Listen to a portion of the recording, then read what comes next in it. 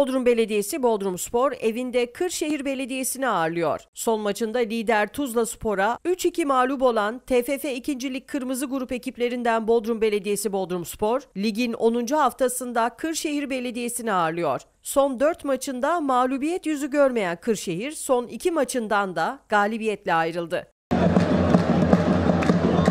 Bodrumspor ligde 17 puanla 6. sırada yer alan Kırşehir Belediyesi'ne karşı oynayacağı maçın hazırlıklarını sürdürüyor. Temsilcimiz 9 hafta sonunda topladığı 9 puanla 12. sırada bulunuyor. İki takım arasında 26 Ekim Cumartesi günü Bodrum İlçe Stadında oynanacak maç saat 13.30'da başlayacak.